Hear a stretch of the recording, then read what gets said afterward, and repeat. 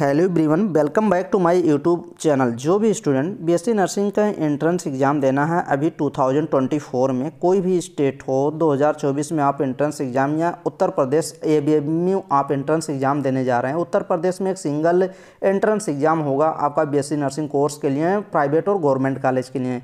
और एम्स का आप अगर अप्लीकेशन फॉर्म भरेंगे, भरे हुए होंगे तो आपको AIIMS BSc nursing entrance exam देना है। राजस्थान, महाराष्ट्र, कोई भी आप, अगर कोई भी स्टूडेंट कहीं कोई भी स्टेट के हैं तो आप इस चैनल के थ्रू तैयारी कर सकते हैं, क्योंकि एन को फॉलो किया जाता है। एन को 100 परसेंट फॉलो करके ये सब आपके थ्योरी कराए जाते हैं। इस वीडियो में हम लोग chapter number six molecular basis of inheritance देखिए जेनेटिक्स के दो चैप्टर हैं तो फ़र्स्ट चैप्टर तो हम लोग कर चुके हैं जेनेटिक्स का मेंडल वाला चैप्टर सेकेंड चैप्टर भी इंपॉर्टेंट हो जाता है। यहाँ से भी आपको दो क्वेश्चन तो हंड्रेड दो से तीन क्वेश्चन आपको एंट्रेंस एग्ज़ाम में मिल जाएँगे। और एकदम सिंपल क्वेश्चन आएगा, देखिए आपको क्या चीज़ें इसमें पढ़नी है। ये देखिए यहाँ पे दिया गया डीएनए। इसी डीएनए से आपका एक क्वेश्चन बन जाएगा, हंड्रेड परसेंट डी हो गया, आरएनए ये भी इंपॉर्टेंट हो जाता है। अभी इसमें रिप्लिकेशन में देख लेना है रिप्लिकेशन भी इंपॉर्टेंट हो जाता है। फिर उसके बाद ट्रांसक्रिप्शन भी इंपॉर्टेंट हो जाता है। तो genetic genetic code genetic code से क्वेश्चन हो सकता है, दे दे, नहीं तो फिर नहीं दे सक ट्रांसलेशन भी इंपॉर्टेंट है। तो देखिए जो टॉपिक है ना, इसमें बस छोटी छोटी चीज़ें इंपॉर्टेंट है ऐसा नहीं कि ट्रांसक्रिप्शन अब पूरा पढ़ना है। तो आपको यही तो पता होना चाहिए कि ट्रांसक्रिप्शन क्या होता है ट्रांसलेशन क्या होता है रिप्लिकेशन क्या होता है, किसको बोलते हैं। डायरेक्ट क्वेश्चन पूछता है। अब जेनेटिक्स में एकदम सिंपल क्वेश्चन बनेंगे। जैसे देखिए ह्यूमन जीनोम प्रोजेक्ट हो गया डीएनए फिंगर प्रिंटिंग हो गया, इन इतने ही इस चैप्टर के बारे में इतनी चीज़ आपको जाननी है। यहीं से एकदम सिंपल क्वेश्चन दो तीन क्वेश्चन आपको मिल जाएँगे इस चैप्टर से, आसानी से हो जाएगा। तो हम लोग देखिए, अगर इस चैप्टर को अभी मैं लास्ट में बता दूँगा कि आप इस वीडियो को देखिए और क्वेश्चन लगाइए। क्वेश्चन हम लोग नेक्स्ट वीडियो में क्वेश्चन भी कर लेंगे। तो क्वेश्चन भी कर लेंगे और कुछ वीडियो की लिंक्स आपको दे देंगे डिस्क्रिप्शन बॉक्स में। उस वीडियो को आप देख लेंगे। जेनेटिक्स हो गया एवल्यूशन नेक्स्ट चैप्टर जो है एवल्यूशन है। तो एवल्यूशन तो हम लोग एकदम बहुत अच्छे से फिनिश किए हैं। तो सब वीडियो उस पर है। तो एवल्यूशन तो हमको कराना नहीं है। एवल्यूशन की वीडियो करा चुके हैं, पूरी कंप्लीट करा चुके हैं। तो देखिए, अब हम लोग पहले डीएनए और आरएनए के बारे में थोड़ी सी जानकारी लेते हैं। यहीं से क्वेश्चन बार बार पूछा जाता है। तो आप देखिए ये देखिए, यहाँ से आप देखिए। अब ये क्वेश्चन जो लेवल पूछता है ना फ़र्स्ट क्वेश्चन यही पूछ लेता है कि डीएनए का नाम क्या होता है और आरएनए का नाम क्या होता है भाई? डीएनए क्या होती है? डीएनए डीऑक्सीराइबो न्यूक्लिक एसिड होती है। डी से क्या हो जाए? डी डी एन ए देखिए डी ऑक्सीराइबो न्यूक्लिक एसिड, ये डीएनए का नेम है। आरएनए क्या है? Ribonucleic acid. तो ये आरएनए और डीएनए का नाम हो गया। है ये दो टाइप ऑफ़ न्यूक्लिक एसिड होते हैं। ये दोनों न्यूक्लिक एसिड हैं जो लिविंग सिस्टम में पाए जाते हैं। कोई भी लिविंग सिस्टम का कोई सेल होता है तो उसमें डीएनए, आरएनए पाए ही जाते हैं, जितने भी लिविंग सिस्टम होते हैं। तो ये देख लीजिए, यहाँ से क्वेश्चन, ये जो तीन पॉइंट मैंने बता दिए तीनों पॉइंट क्वेश्चन पूछे गए हैं। अब देखिए, DNA act a genetic material. अब ये भी क्वेश्चन पूछा जाता है, डीएनए क्या, जो डीऑक्सीराइबो न्यूक्लिक एसिड है, ये क्वेश्चन पूछेगा, ऐसे क्वेश्चन पूछ लेगा, डीएनए पूछेगा, जेनेटिक मटेरियल कौन है? फ़र्स्ट में फ़र्स्ट में आपका डीएनए दे देगा, सेकंड में आपका आरएनए दे देगा थर्ड में आपका बोथ दे देगा और फोर्थ ऑप्शन में नन ऑफ़ दीज दे देगा। तो आप थर्ड ऑप्शन लगाएँगे, क्योंकि यहाँ देखिए क्वेश्चन लिखा है D N act as genetic material DNA genetic material most of the organism अधिकतर ऑर्गेनिज्म में डीएनए ही जेनेटिक मटेरियल होता है। लेकिन कहीं क्वेश्चन ऐसे पूछ लिया कि डीएनए मतलब पूछ लिया genetic material most of the organism में कौन सा जेनेटिक मटेरियल होता है तो आप बोथ नहीं लगाएँगे, फिर डीएनए लगाएँगे। नेक्स्ट आगे देखिए, RNA do act as genetic material RNA भी जेनेटिक मटेरियल होता है इन सम वायरस कुछ वायरसेस में आरएनए भी जेनेटिक मटेरियल होता। है अभी आगे टीएमबी वायरस है आगे कुछ वायरस हैं, अभी हम लोग आगे देख लेंगे। बैक्टीरियोफेज हो गया एच हो गया तो उसमें क्या होते हैं आरएनए भी जेनेटिक मटेरियल का काम करता है। तो ये सब चीज़ें जब क्वेश्चन लगाएँगे ना तो फिर और चीज़ें क्लियर हो जाएँगी। यहाँ चीज़ें देख लीजिए और चीज़ें समझ लीजिए। नेक्स्ट वीडियो में हम लोग जब क्वेश्चन करेंगे ना तो जो चीज़ें छूटेंगी, वो चीज़ें तो हो जाएँगी आसानी से। तो आपको घबराना नहीं है। तो ये चीज़ आप समझ गए। आ, फिर उसके बाद यहाँ चीज़ें कुछ इतना इम्पोर्टेंट दिया नहीं गया है। इसको आप आगे ले चल सकते हैं। देखिए एकदम हंड्रेड परसेंट तो हर एक लाइन नहीं पढ़ सकते ना क्योंकि पूरी बी ए कंप्लीट करानी है और इंपॉर्टेंट चीज़ें हम कवर करेंगे। अब देखिए ट्रांसक्रिप्शन क्या होता है? देखिए यहाँ पे दिया दिया गया है the process of making R N A from D N A D N A से आर एन ए का बनना क्या होता है? ट्रांसक्रिप्शन होता है। ये इंपॉर्टेंट है। ट्रांसक्रिप्शन में इतना ही आप जान लेंगे। डायरेक्ट क्वेश्चन पूछ लेगा। ट्रांसक्रिप्शन किसको बोलते हैं? तो डीएनए से आरएनए के बनने को ट्रांसक्रिप्शन बोलते हैं। अभी पूरा वीडियो देखिए ना, सब और अच्छे से क्लियर हो जाएगा।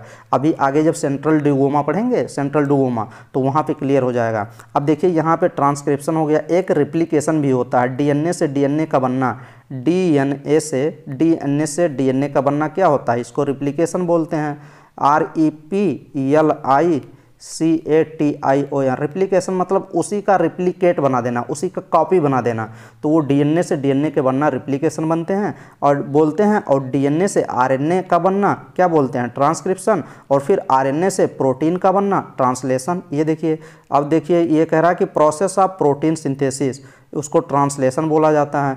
आरएनए से जब प्रोटीन का बनना ट्रांसलेशन कहलाता है। तो ये तीन चार चीज़ आप जान गए, जो हर बार क्वेश्चन पूछे जाते हैं। और इस बार भी चांसेस हैं कि क्वेश्चन रिप्लिकेशन से आ जाए कि रिप्लिकेशन किसको बोलते हैं? तो आरएनए से प्रोटीन प्रोटीन का बनना ही रिप्लीकेशन कहलाता है। अब देखिए, यहाँ पर आप देखिए, यहाँ चीज़ें हैं कि डीएनए। अब डीएनए क्या होती है? एक बार तो क्वेश्चन यही पूछ लिया गया था कि डीएनए में भाई सल्फ़र प्रेजेंट होता है कि नहीं? तो काफ़ी स्टूडेंट क्वेश्चन गलत किए थे। देखिए, यहाँ पे डीएनए देख ली, देख लेंगे कि डीएनए क्या होता है। डीएनए इज़ लॉन्ग पॉलीमर ये एक लॉन्ग लंबी पॉलीमर होती है। किसकी होती है? डी न्यूक्लियोटाइड ये देखिए डी ऑक्सीराइबो न्यूक्लियोटाइड की ये क्या होती है? लॉन्ग पॉलीमर होती है। किसकी? डीएनए। डीएनए किसको बोलते हैं? Long polymer of D deoxyribonucleotide अब टाइड किसको बोलते हैं? और साइड किसको बोलते हैं? टाइड और साइड, ये इतना तो डिफरेंट होता है ना? न्यूक्लियोटाइड और न्यूक्लियो, न्यूक्लियोसाइड और न्यूक्लियोटाइड। यहाँ टाइड की बात कर रहा है तो टाइड में क्या क्या होते हैं? अभी सब चीज़ एकदम क्लियर हो जाएगी।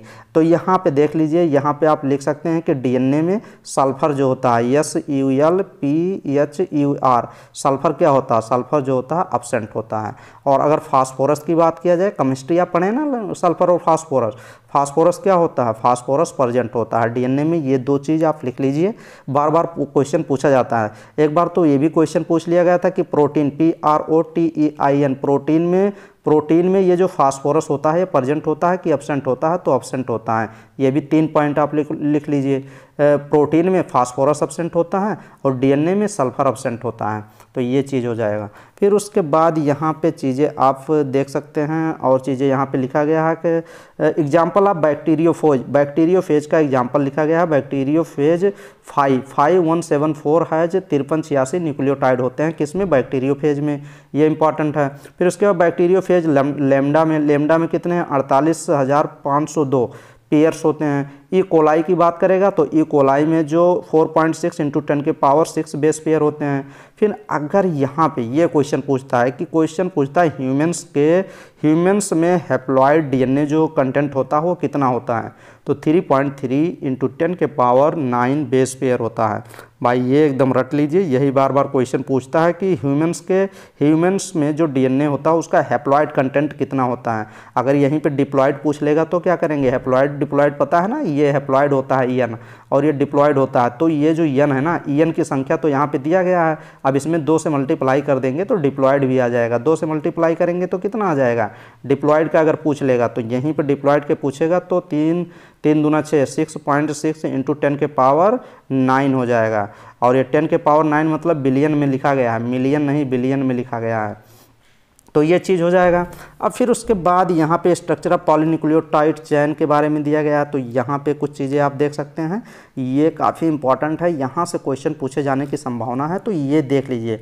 ये आप अच्छे से हर एक पॉइंट को समझ लीजिए ना। यहाँ से क्वेश्चन देखिए। यहाँ पे पॉलीन्यूक्लियोटाइड डीएनए, यहाँ पे देखिए न्यूक्लियोटाइड हाँ ये क्वेश्चन देखिए, जो मैं बता रहा था nucleotide nucleotide has three pair component question ऐसे दे देगा कि न्यूक्लियोटाइड में कौन कौन से कंपोनेंट होते हैं। फ़र्स्ट पे दे देगा नाइट्रोजनस बेस, सेकंड पे दे देगा क्या?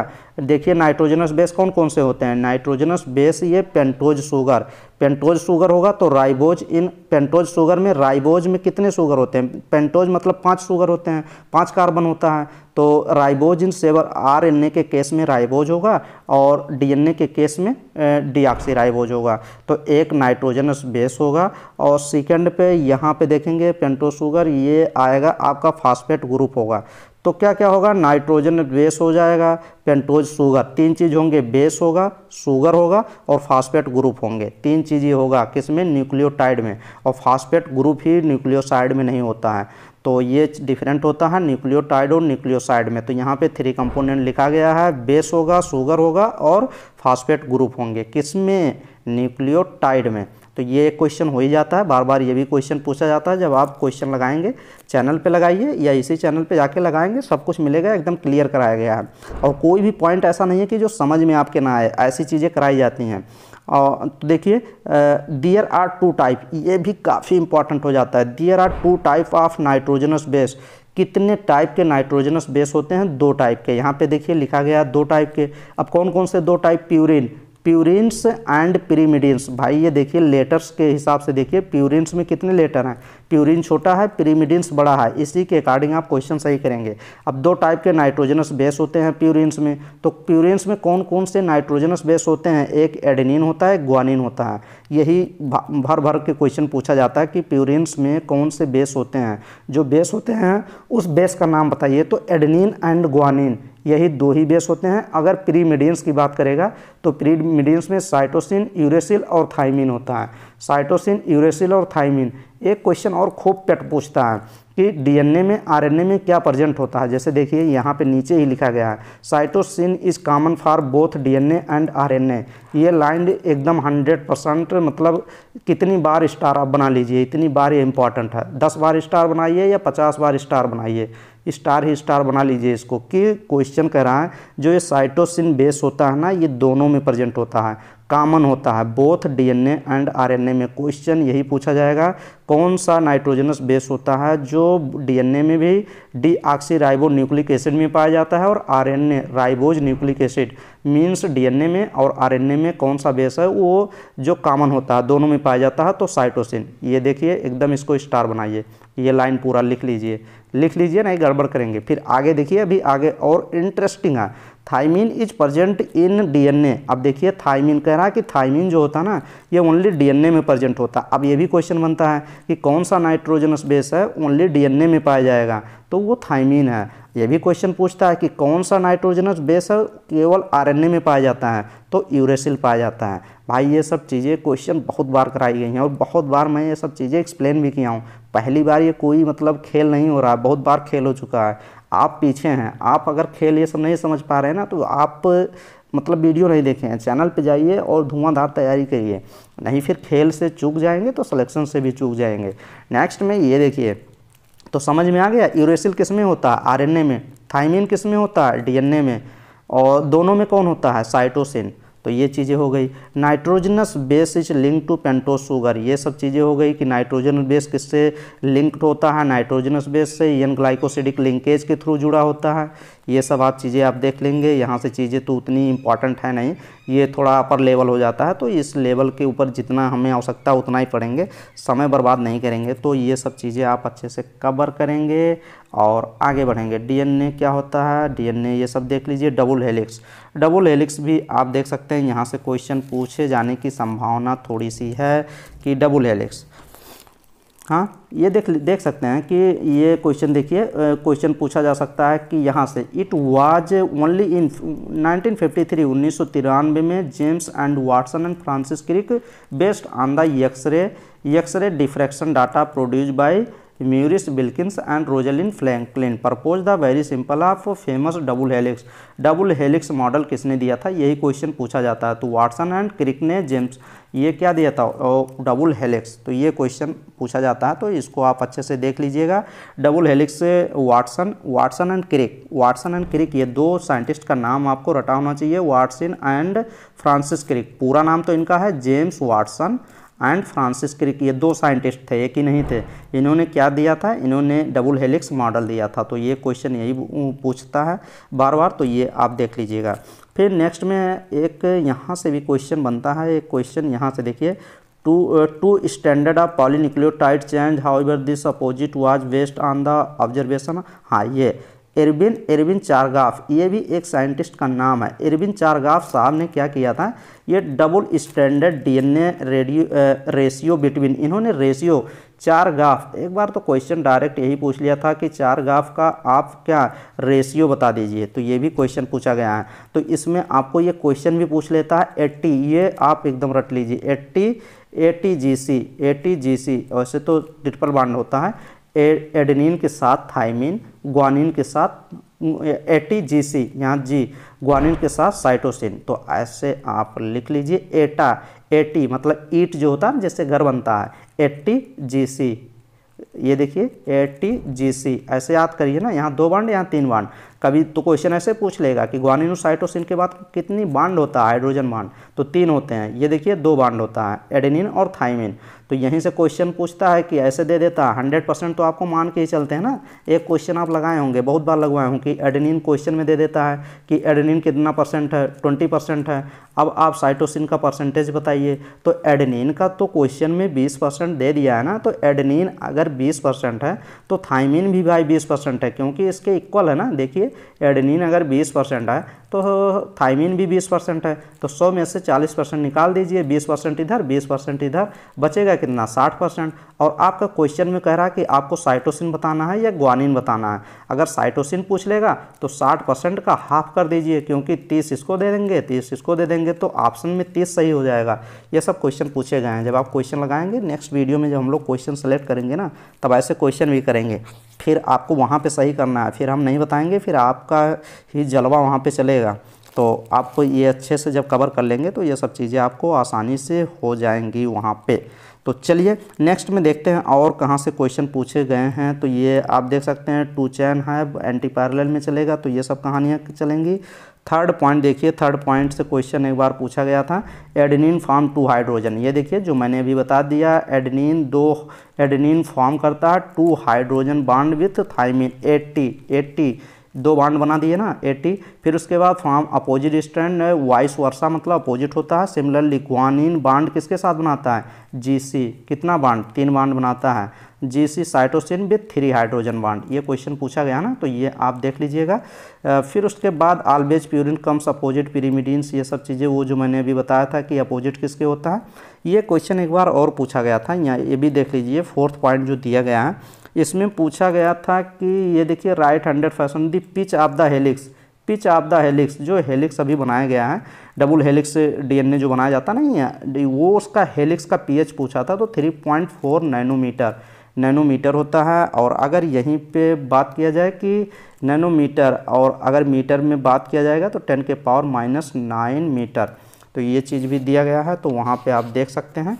नेक्स्ट में चलेंगे, नेक्स्ट में ऊपर चलिए, यहाँ से देखेंगे कि कौन सा क्वेश्चन पूछा गया। यहाँ देखिए, हेलिक्स बनाया गया होगा यहीं पे। ये है। ये क्या है? डीएनए डबल हेलिक्स बनाया गया है। इसको आप देख सकते हैं। डीएनए डबल हेलिक्स से क्वेश्चन उतना तो ऐसे तो बनता नहीं है, लेकिन आप देख सकते हैं कि कैसे कैसे क्या चीज़ है, थोड़ा सा फिगर देख लीजिए।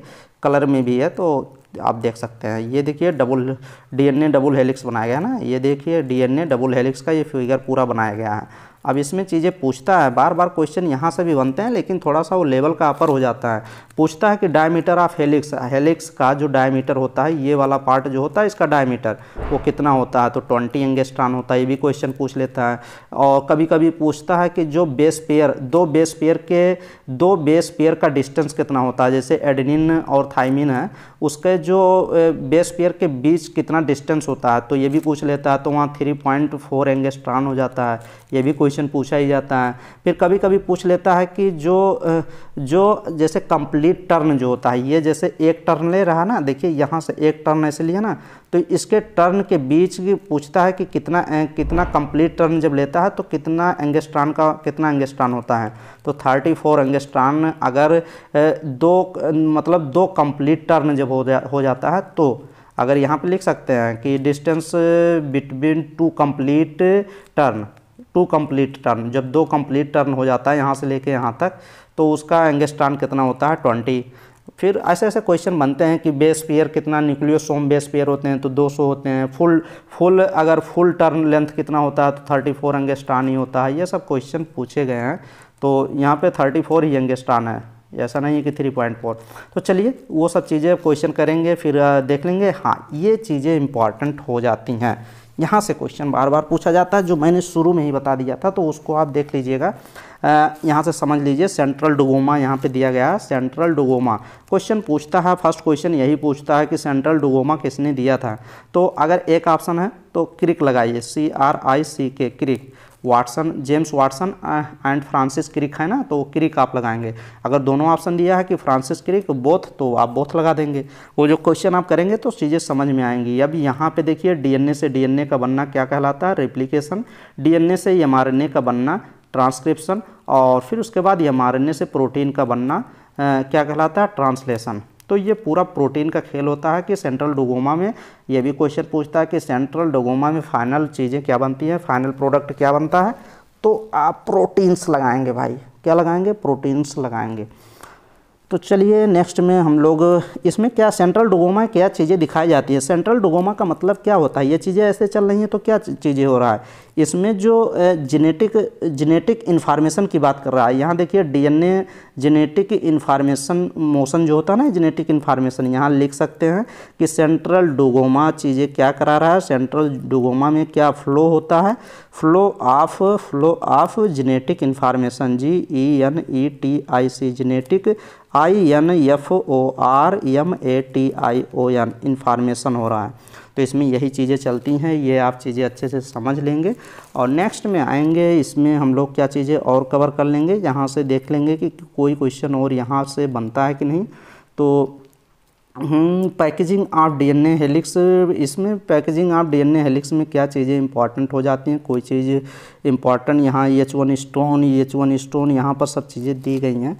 तो इतना ज़्यादा इंपॉर्टेंट है नहीं आपके लेवल का मतलब बीएससी नर्सिंग का एंट्रेंस एग्ज़ाम आप देने जा रहे हैं तो थोड़ा सा हम लोग सरफेस से ही पढ़ेंगे और चीज़ें उतना समय है नहीं तो इंपॉर्टेंट चीज़ें हम लोग कवर कर लेंगे। फिर यहाँ पे आएँगे हाँ यूकरियाट और प्रोकरियाट के बीच में आप देख लेंगे प्रोकरियाट्स क्या होते हैं यूकरियाट्स क्या होते हैं तो यहाँ चीज़ें थोड़ा सा देख लीजिए। फ़र्स्ट पैकेजिंग डीएनए इसमें दिया गया होगा। Prokaryote such as E coli देखिए प्रोकैरियाट की बात आएगा तो बैक्टीरिया की बात आएगी। प्रोकैरियाट इकोलाई यहाँ पे दिया गया है। इकोलाई बैक्टीरिया यहाँ पे DNA to the not have defined nuclear DNA not scattered ये सब चीज़ें आप देख लेंगे।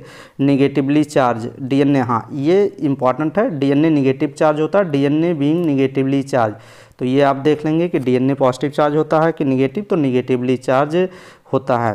फिर उसके बाद आप बात करेंगे यहाँ पे हिस्टोन, यूकरियाट, आर्गनिन जो होते हैं, ये सब आप देख लेंगे। आक्टामर बनाता है, ये आक्टामर क्रोमाइटिन, ये सब चीज़ें देख लेंगे। यहाँ से चीज़ें और क्या चीज़ें इंपॉर्टेंट हैं? अगर कोई चीज़ इंपॉर्टेंट है तो हमको वो पूरी कंप्लीट करनी है। फिर उसके बाद हम आएँगे नॉन हिस्टोन क्रोमोसोमल प्रोटीन ये देख लेंगे। Non histone chromo chromosomal protein क्या होती है? ये सब चीज़ें अच्छे से कर लेंगे। ये इंपॉर्टेंट हो जाता है यूक्रोमैटिन और हेट्रो यूक्रोमैटिन और हेट्रोक्रोमैटिन के पहले आपको ये चीज़ समझ लेनी चाहिए। यूक्रोमैटिन और हेट्रोक्रोमैटिन हिस्टोन यहाँ पे देखिए, ये देख लीजिएगा। आप हिस्टोन आक्टामर ये हिस्टोन आक्टामर क्या होता है? क्वेश्चन डायरेक्ट पूछा जा सकता है कि हिस्टोन आक्टामर क्या होते हैं। तो हिस्टोन आक्टामर जो होते हैं, ये इसमें एट आठ, ये देखिए एट मालिक्यूल्स यूनिट होती है। तो डायरेक्ट क्वेश्चन पूछा जाता है कि आक्टा मीन्स आठ होता ही है। आक्टा मीन्स कितना? आठ आक्टामर्स आठ, eight, unit of eight molecules उसमें ऐड होते हैं। तो ये आप देख लीजिएगा, हिस्टोन हो गया, हिस्टोन आक्टामर फिर उसके बाद एक वर्ड है, इसमें न्यूक्लियोसोम। अब न्यूक्लियोसोम क्या होता है भाई? न्यूक्लियोसोम जो होता है, इसमें जो डीएनए, जैसे ये देखिए, ये हेलिक्स जो बनाया गया ना, यहाँ पे देखेंगे, ये जो हेलिक्स बनाया गया है न्यूक्लियोसोम ही बनाया गया है। ये क्या बनाया गया है? ये न्यूक्लियोसोम ही बनाया गया है, ये पूरा जो स्ट्रक्चर बनाया गया है, वो न्यूक्लियोसोम है। अब न्यूक्लियोसोम होता क्या है? इसमें डीएनए जो होता है ना, ये डी एन क्या होता है? डीएनए जो ये निगेटिवली चार्ज होता है, निगेटिव चार्ज होता है डीएनए डीएनए क्या होता है? Negative charge. अब डीएनए निगेटिव चार्ज होता है, ये हिस्टोन आक्टामर है, ये आपका पूरा हिस्टोन आक्टामर है। हिस्टोन आक्टामर क्या होता है? इसमें पॉजिटिव चार्ज होता है हिस्टोन आक्टामर अब हिस्टोन आक्ट हिस्टोन जो होता है हिस्टोन क्या होता है? हिस्टोन जो पॉजिटिवली चार्ज आक्टामर है, इसके ऊपर जो है निगेटिवली चार्ज डीएनए जो होता है, ये क्या होता है? ये लपेटा होता है मतलब वार्प होता है। वार्प इसमें चीज़ें लिखी गई हैं। ये लपेटा होता है, उसी के स्ट्रक्चर को क्या? इस पूरे स्ट्रक्चर को न्यूक्लियोसोम बोलते हैं। तो न्यूक्लियोसोम में अगर पूछा जाएगा तो क्या होगा? हिस्टोन हिस्टोन आक्टामर होते हैं और डीएनए होता है। और ये भी क्वेश्चन पूछा जा सकता है, हिस्टोन आक्टामर क्या होते हैं? तो ये निगेटिवली चार्ज होते हैं कि पॉजिटिवली तो पॉजिटिवली चार्ज और डीएनए क्या होता है? निगेटिवली चार्ज होता है। और क्वेश्चन है क्वेश्चन यहीं पर और बनता है कि जो लेंथ ऑफ़ डीएनए हेलिक्स एक क्वेश्चन पूछता है, यहाँ पे कहीं लिखा होगा ये आप यहाँ पे देखिए, वो मुझे क्वेश्चन याद रहा टू पॉइंट टू जो मीटर्स होता है अप्रॉक्सीमेट जो दिया गया होगा, यहाँ पे चीज़ें कहीं पे दी होंगी।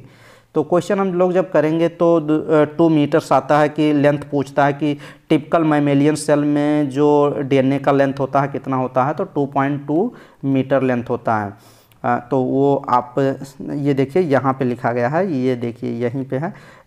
वही तो चीज़ें मैं थोड़ा सा, ये देखिए comes out the approximate 2.2 meter of length ये 2.2 मीटर ये क्या है? ये देखिए, यहाँ से आप देख सकते हैं। If the length of D DNA double helix of typical mammalian cell यही को, यही लैंग्वेज देता है कि टिपिकल मैमेलियन सेल्स में डबल हेलिक्स डीएनए की कितनी लेंथ होती है तो 2.2 मीटर आप देख सकते हैं।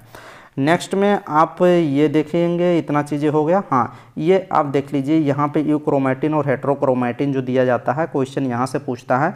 Non histone in the typical nucleus some region chromatin loosely packed जो अगर क्रोमोसोम लूजली पैक है, स्टे, ये देखिए stains at are light stained light are refer to euchromatin euchromatin ऐसे हेट्रोमिन्स गड़बड़ होता है ये। हेट्रोक्रोमैटिन क्या होती है? आपको बस इतना ही जानना है। हेट्रोक्रोमैटिन और यूक्रोमैटिन तो यूक्रोमैटिन जो होती है, ये यूक्रोमैटिन जो होती है, ये क्या होती है? ये ट्रांसक्रिप्शनली जो एक्टिव क्रोमैटिन इसको बोला जा सकता है। एक्टिव क्रोमैटिन कौन पूछ लेगा कि एक्टिव क्रोमैटिन कौन सी होती है और कौन सी इनएक्टिव प्रोटीन होती है? तो ये इनएक्टिव हेट्रोक्रोमैटिन को क्या बोलते हैं? इनएक्टिव इनएक्टिव ये देख सकते हैं। इनएक्टिव और एक्टिव क्रोमैटिन ये क्या है? Active chromatin C H R O M A T I N तो ये इतना हो गया।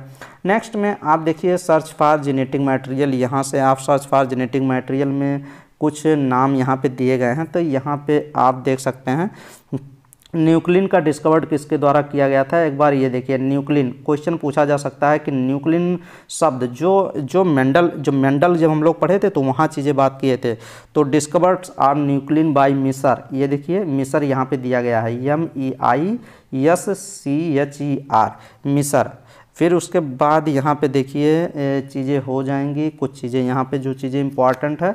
हाँ ये क्वेश्चन ये भी को क्वेश्चन पूछा जाता है। ट्रांसफार्मिंग प्रिंसिपल किसने दिया था? ये देखिए, ये क्वेश्चन मैं जूम करता हूँ और यहाँ क्वेश्चन आपको दिखाता हूँ, क्योंकि क्वेश्चन ये इंपॉर्टेंट है और क्वेश्चन पूछा भी गया है।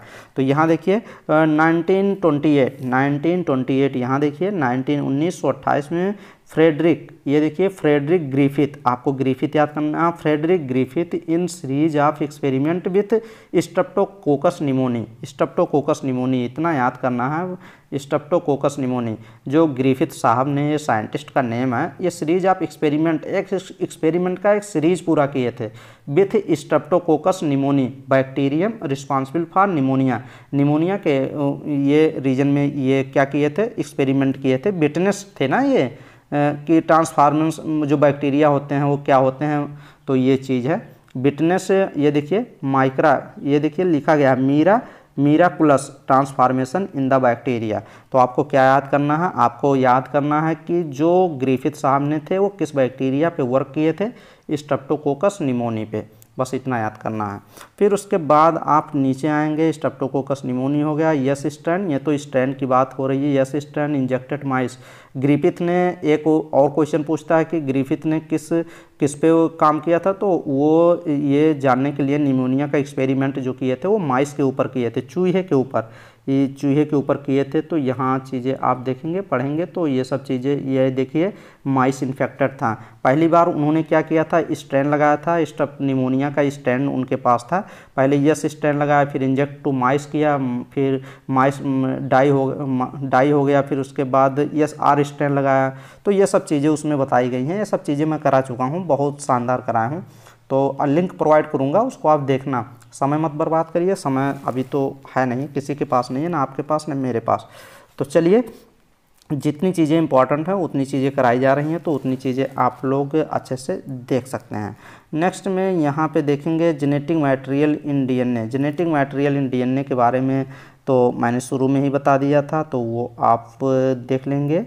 नेक्स्ट में यहाँ पे एक जेनेटिक मटेरियल में ये देखिए जेनेटिक मटेरियल ये देखिए, एक साइंटिस्ट का नेम दिया गया है। Alfred Hershey and Martha Chase दिया गया है। Alfred Hershey and Martha Chase क्या किए थे?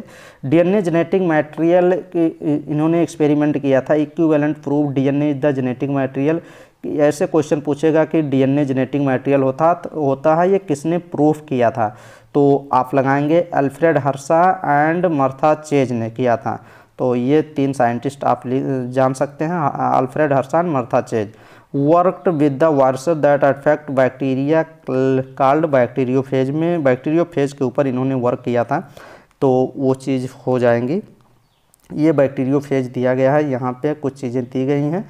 नेक्स्ट में हम लोग क्या चीज़ें कवर करेंगे? नेक्स्ट में देखिए, properties of genetic material, DNA virus versus RNA. तो ये देख लेंगे, फिर यहाँ पे जेनेटिक कुछ दिया गया है। तो यहाँ पे ये देख लीजिए, यहाँ पे ये चीज़ें दी गई हैं जो ये एक्सपेरिमेंट था। ये किसका एक्सपेरिमेंट था? हर से चेज एक्सपेरिमेंट यहाँ पे दिया गया है। तो क्वेश्चन यहाँ से क्वेश्चन बनता है कि DNA is a genetic material ये किसने प्रूफ किया था? तो ये यही हर से चेज एक्सपेरिमेंट हर साहब ने ये किया था हर से एंड चेज एक्सपेरिमेंट फिर उसके बाद यहाँ पे देखेंगे, यहाँ चीज़ें क्या दी गई हैं? यहाँ चीज़ें आप नीचे आएँगे तो कुछ प्रॉपर्टीज़ भी दी गई हैं। प्रॉपर्टीज़ आप genetic material DNA versus RNA के बारे में कुछ दिया गया है। यहाँ हर से एक्सपेरिमेंट वही चीज़ें, इसे यहाँ सब चीज़ें लिखी गई हैं। लेकिन हाँ यहाँ चीज़ें एक बार और पढ़ लीजिए। ये देखिए, यहाँ molecule that can act genetic material must fulfil the following criteria जो जेनेटिक मटेरियल होते हैं क्वेश्चन पूछा जा सकता है, जो जेनेटिक मटेरियल होते हैं, वो कौन से कौन से क्या, कौन से फुलफ़िल करते हैं, कौन क्या क्या क्राइटेरिया फुल करते हैं तो जेनेटिक मटेरियल क्या होना चाहिए? जो जेनेटिक मटेरियल जैसे डीएनए है आरएनए भी होता है तो वो देखिए should be able to generate its replica मतलब जेनेटिक मटेरियल के अंदर रिप्लिकेशन की रिप्लिकेशन का क्षमता पाई जानी मतलब होना चाहिए रिप्लिकेशन तो डीएनए के पूछेगा डीएनए जेनेटिक मटेरियल जो होता है जेनेटिक मटेरियल तो होता है, लेकिन क्या क्राइटेरिया फुलफिल होता है। तो रिप्लीकेशन प्रॉपर्टीज़ उसमें होती है और वो के केमिकली एंड स्ट्रक्चरली क्या क्या होते हैं? स्टेबल हो, होते हैं। दे और फिर उसके बाद उसमें म्यूटेशन जो होता है एकदम स्लो चेंज होता है। इतना नहीं है कि म्यूटेशन होगा लेकिन फास्ट नहीं होगा। स्लो होगा।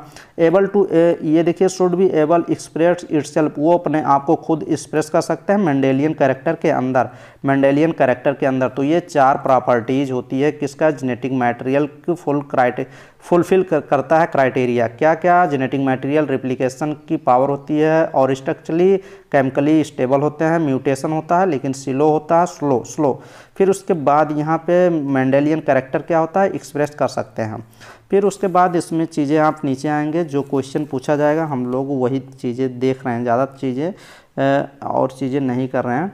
फिर यहाँ से देखिए बोथ यहाँ पे देखिए बोथ दिया गया है कि both DNA and RNA are able to mutate change होते हैं fact RNA being unstable RNA जो होता है, राइबोज न्यूक्लिक एसिड जो होता है, मोर म्यूटेशन मतलब इनमें अधिक क्या होते हैं, चेंजेज होते हैं, ज़्यादा म्यूटेशन इसमें होता है। आरएनए बीइंग अनस्टेबल, क्योंकि ये अनस्टेबल म्यूटेट, ये फास्टर मतलब अगर क्वेश्चन पूछा जाए किसमें म्यूटेशन की रेट जो होती है वो अधिक होती है तो आरएनए में होती है। ये देखिए कंसिक्वेंटली वायर ये देखिए, वायरसेस हाइविंग आरएनए जीनोम। तो आरएनए जो होता है वो आयरस वायरस में क्या होता है? Genome and having shorter life span होता है म्यूटेंट एंड इवॉल्व फास्टर क्योंकि वायरस में क्या इनका वायरस का लाइफ स्पान कम होता है, तभी तो आरएनए में जेनेटिक इनका जो म्यूटेशन पावर होता है वो फास्टर होता है। ये सब चीज़ें यहाँ पे दिया गया है। आरएनए किसको डायरेक्टली कोड करता है? सिंथेसिस ऑफ़ प्रोटीन को। Hence can as express character ये सब चीज़ें यहाँ पे दी गई हैं। फिर यहाँ पे चीज़ें ये दिया गया है both RNA and DNA can functions दोनों जो ये आरएनए और जो डीएनए है ना, दोनों जेनेटिक मटेरियल के रूप में काम कर सकते हैं बट स्टेबिलिटी तो डीएनए की अधिक होती है ना। ये भी आपको पता होना चाहिए। यहाँ पे दिया गया है both DNA and RNA can यहाँ कैन फ़ंक्शन अब देखिए, आगे चलिए कैन फ़ंक्शन क्या दिया गया है? आगे दिया गया है कैन फ़ंक्शन ये देखिए जेनेटिक मटेरियल सही चीज़ है। आरएनए और डीएनए क्वेश्चन मैंने शुरू में बता दिया था कि आरएनए, डीएनए दोनों जेनेटिक मटेरियल होते हैं। लेकिन अगर मोस्टली पूछेगा तो डीएनए आप लगाएँगे। बोथ देगा तो दोनों, बोथ वाला लगा देंगे। देखिए but DNA being more stable लेकिन डीएनए जो होता है मोर स्टेबल होता है preferred for strong strong genetic information provide करता है। For the trans transmission of genetic information R N is better तो ये आप देख सकते हैं, अगर पूछेगा, इन्फॉर्मेशन के लिए कौन सा बेटर है? तो इन्फॉर्मेशन तो आर एन ही बेटर है कि ट्रांसमिशन करता है। ज़्यादा इंपॉर्टेंट होता है। क्योंकि आरएनए के टाइप भी होते हैं ना T R N M R N S S R N A वो सब आर एन ए के बेटर होते हैं ना, इसीलिए। तो चलिए अब आर एन ए वर्ड के बारे में पढ़ते हैं, कैन एक्ट कैटलिस्ट का काम करता है। अगर क्वेश्चन ये पूछ ले कि R N A D N A में कौन कैटलिस्ट का काम करता है? सी कैटलिस्ट मतलब काटने का काम करता है। C A T L Y S T yes catalyst का काम कौन करता है? तो आर एन ए ही करता है। तो इसमें देख लेंगे। तो चलिए, यहाँ पे चीज़ें कुछ देख लेंगे। यहाँ पे अगर कुछ चीज़ें मिलेंगी, जहाँ से क्वेश्चन पूछे जाते हैं, ये देखिए, यहाँ से एक पॉइंट पढ़ लीजिए। R N A was the first genetic material first genetic material कौन है? तो आर एन ए ही लगाएँगे भाई। अगर डायरेक्ट क्वेश्चन पूछेगा, कौन सा है जो फ़र्स्ट जेनेटिक मटेरियल है? तो R N A is enough इसमें देख लीजिए। Now enough evidence to suggest that essential process तो ये सब चीज़ें आप देख लेंगे। यहाँ पे चीज़ें मेटाबॉलिज्म ट्रांसलेशन और स्प्लाइसिंग तीन स्टेप चलती है भाई।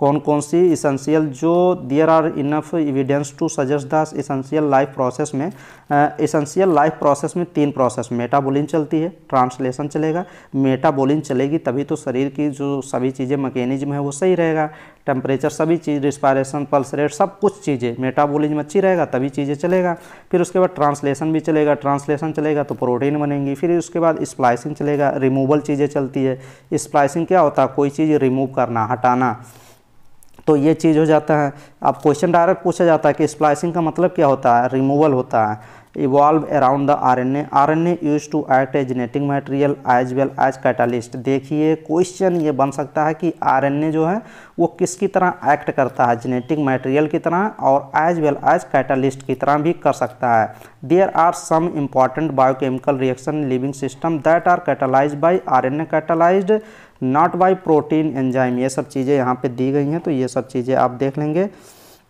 फिर उसके बाद ये पॉइंट आप देख लेंगे, डीएनए, ये वाला। Therefore D N has evolve from R N A D N A जो होता है वो कहाँ से इवॉल्व हुआ? आर एन ए से।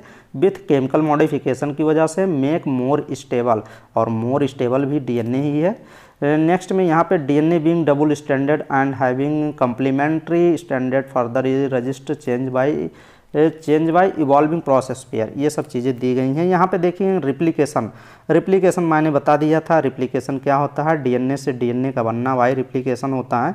डीएनए अगर इसको रिप्लिकेशन बोल दो, या फिर इसको डुप्लीकेशन भी बोला जा सकता है। D U P L I C A T I O N duplication भी बोला जा सकता है। तो इसको ब्रैकेट में आप लिख सकते हैं। रिप्लीकेशन या डुप्लीकेशन लिख सकते हैं।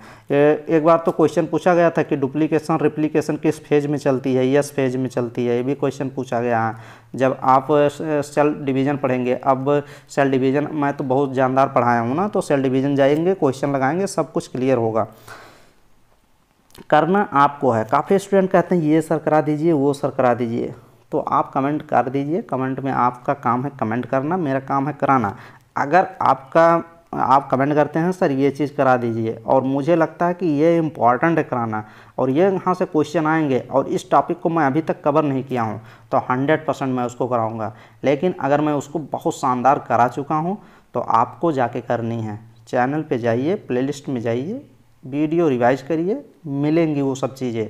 तो वो डिपेंड करता है कि आप कितना कर रहे हैं। मैं तो 100 परसेंट करा दिया हूँ, एकदम ज़ोरदार और शानदार करा दिया हूँ।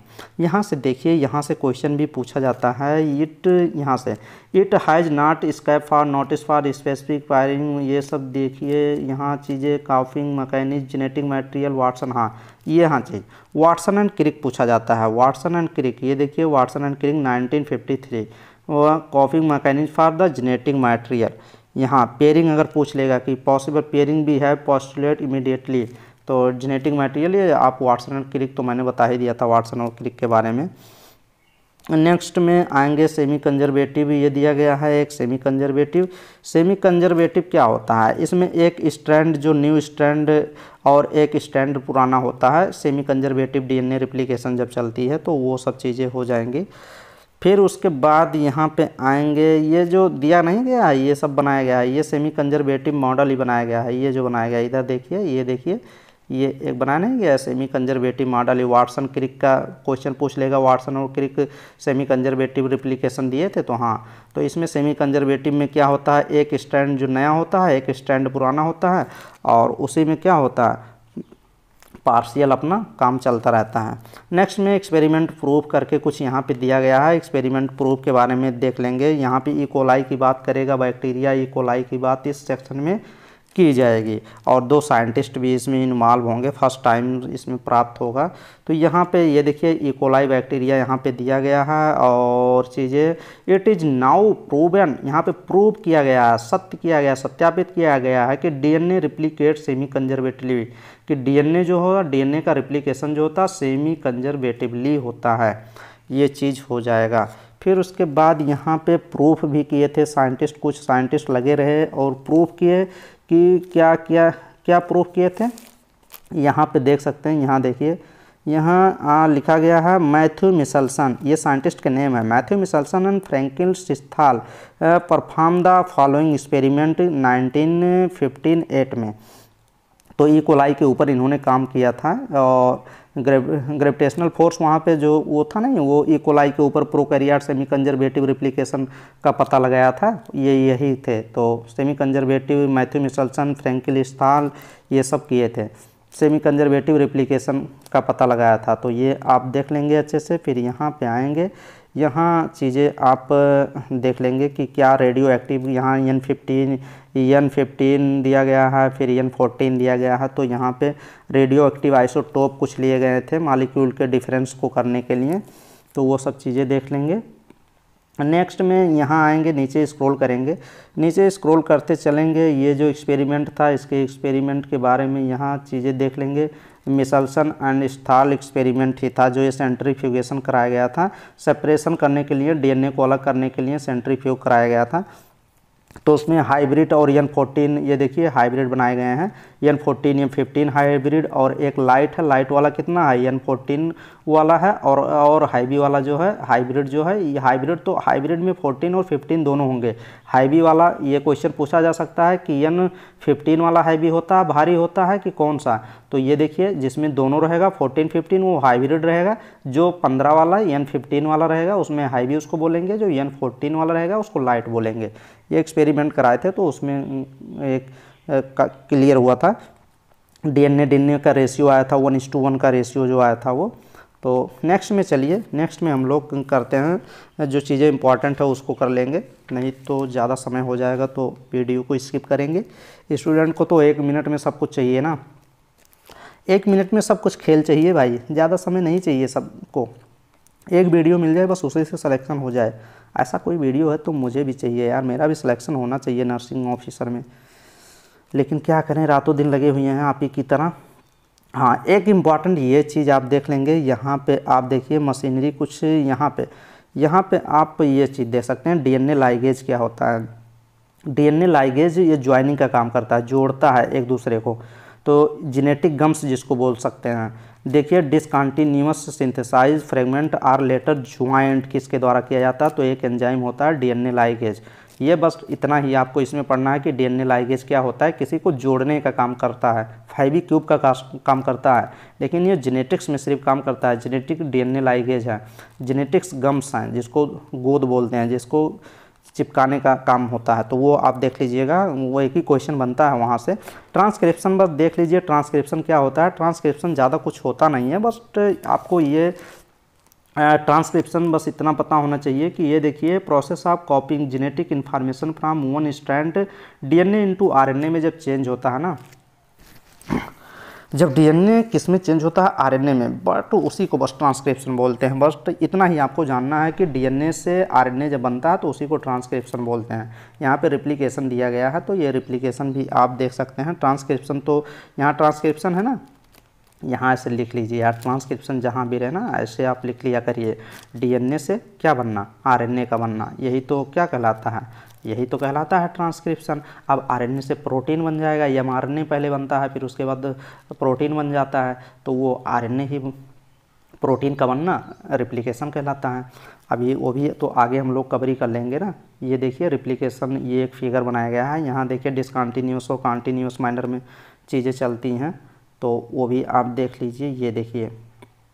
अब इसमें चीज़ें क्या समझ पाएँगे? इसमें चीज़ें समझ पा रहे हैं कि नहीं समझ पा रहे हैं? यहाँ कुछ चीज़ें जो चीज़ दिया गया है, यहाँ टम्पलेट बनाया गया है। देखिए टम्पलेट डीएनए जो पेरेंटल स्टैंड बनाया गया है। पेरेंटल स्टैंड है। पेरेंटल स्टैंड क्वेश्चन पूछा जा सकता है, जो पेरेंटल स्टैंड है, वो कहाँ से कहाँ तक चलती है? तो three three is to five direction में चलती है। तो ये पेरेंटल स्टैंड है। यहाँ पे देखिए डिसकंटिन्यूस सिंथेसिस हो रही है। तो यहाँ से देखिए कॉन्टीन्यूस के फॉर्म में चल रहा है। Continuous three is to five के डायरेक्शन में चल रहा है। फिर यहाँ पे देखिए ये जो न्यू स्टैंड बन रहा है five is to three direction में। यहाँ देखिए डिसकंटिन्यूस मैनर में चल रहा है। यही तो इसी को तो जो डिसकंटिन्यूस ये फ्रेगमेंट होता है ना, इसी तो ओका जाकी फ्रेगमेंट भी बोलते हैं। ओका जाकी फ्रेगमेंट ओका जाकी फ्रेगमेंट अभी आगे हम लोग पढ़ेंगे। ओ ओ, के, ए, ओका, जेड, ए, के, आई ओका जाकी ओका जाकी सेगमेंट होता है एक। S, E, G, S, E, G, M, E, N, T ओटा जाकी सेगमेंट होता है। ये डिसकंटिन्यूस जो माइनर में चलता है। तो चलिए ओका जाकी सेगमेंट आप लोग देख लीजिए। ये five is to three direction में चलता है। रिप्लिकेशन किस टाइप का होता है? वाई शेप का होता है। वाई शेप इन्वर्टेड होता है। ये सब चीज़ें हम लोग देख लेंगे। नेक्स्ट में हम लोग क्या चीज़ें और देख लें जो चीज़ें इंपॉर्टेंट है ट्रांसक्रिप्शन यूनिट हाँ। क्वेश्चन डायरेक्ट पूछेगा भाई कि ट्रांसक्रिप्शन यूनिट में क्या क्या चीज़ें क्या क्या चीज़ ट्रांसक्रिप्शन में इन्वॉल्व होती हैं। तो डीएनए का वह पार्ट होता है ट्रांसक्रिप्शन में। ट्रांसक्रिप्शन यूनिट क्या है? डीएनए का वो पार्ट होता है जो ट्रांसक्रिप्शन में इन्वॉल्व होता है। वही होता है ट्रांसक्रिप्शन यूनिट, जो क्या होता है, डीएनए का वही पार्ट होता है, जो ट्रांसक्रिप्शन में इन्वॉल्व हो, वही ट्रांसक्रिप्शन यूनिट है। तो यूनिट वही है, ट्रांसक्रिप्शन यूनिट। अब उसमें कुछ ट्रांसक्रिप्शन यहाँ पे दिया गया है। Transcription unit DNA is defined primarily by the three region. तो डायरेक्ट क्वेश्चन पूछ लेगा कि ट्रांसक्रिप्शन यूनिट में क्या क्या चीज़ें होती हैं तो एक प्रमोटर होता है थ्री रीजन होती हैं। एक प्रमोटर रीजन होता है एक स्ट्रक्चरल जीन होती है एक टर्मिनेटर होता है। और फोर्थ ऑप्शन कुछ बना देगा। कुछ दे देगा कि एक जीन होती है या फिर एक रेगुलेटरी जीन दे देगा। फिर तो रेगुलेटरी जीन वही ऑप्शन लगाएँगे। तो ये तीन चीज़ होती है ट्रांसक्रिप्शन यूनिट में। तो ये आप अच्छे से देख लेंगे। प्रमोटर को पी से आप शो कर कर, सकते हैं। पी से और स्ट्रक्चरल जीन को यस से शो करते हैं। टर्मिनेटर से टी शो कर सकते हैं। P S T P S T present होता है किसमें? ट्रांसक्रिप्शन यूनिट में। नेक्स्ट में आप आइए, नेक्स्ट में चलते हैं, कुछ और चीज़ें देख सकते हैं। अगर यहाँ चीज़ें इंपॉर्टेंट होंगी तो मैं बता ही दूँगा। यहाँ हाँ ये जो टम्पलेट स्टैंड और कोडिंग स्टैंड यहाँ से क्वेश्चन बनता है, वो बहुत शानदार क्वेश्चन होता है। अगर समझेंगे नहीं ना तो क्वेश्चन गलत कर जाएँगे। उसका मैं बहुत शानदार कराया हूँ। जो लिंक प्रोवाइड कर दूँगा, वो लिंक आप देख लेंगे। सब कुछ चीज़ें यहाँ क्लियर हो जाएँगी। ऐसा कुछ नहीं है कि जो क्लियर नहीं होगा। यहाँ देखिए, एक प्रमोटर है। यहाँ पे एक स्ट्रक्चरल जीन है और यहाँ के एक टम्पलेट बनाया गया है, एक टर्मिनेटर है यहाँ पे। तो टर्मिनेटर ये थ्री एंड होता है थ्री यहाँ देखिए थ्री एंड बनाया गया है टर्मिनेटर पे। ट्रांसक्रिप्शन स्टॉप साइट यहीं पे फाइव एंड पे स्टॉप हो जाती है और एक कोडिंग स्टैंड बनाया गया है। Coding strand five is to three direction में चलती है five is to three direction में। और कोडिंग स्टैंड को नॉन टम्पलेट स्टैंड भी बोला जाता है नॉन टम्पलेट स्टैंड बोला जाता है। और ये एमआरएनए के समान होती है। तो ये सब चीज़ें इसमें जब पढ़ेंगे, सब चीज़ें मैं बताया हूँ तो वो सब चीज़ें हो जाएँगी। क्वेश्चन जहाँ से पूछा जाएगा, वो उतनी चीज़ें हम लोग करेंगे। एग्जान और इंट्रान क्या होता है? एग्जान को काट के हटा दिया जाता है, इंट्रान को जोड़ दिया जाता है। The coding sequence are express sequence are defined exon ये देखिए एग्जान क्या होता है? यहाँ देखिए। Exons are set to be those sequence appear in the mature or process R N A exons are interrupted by intron intra intervening sequence do not appear in the mature and process R N A जो matures are N ए होती हैं, उसमें intron नहीं होता है। Intron हट जाता है।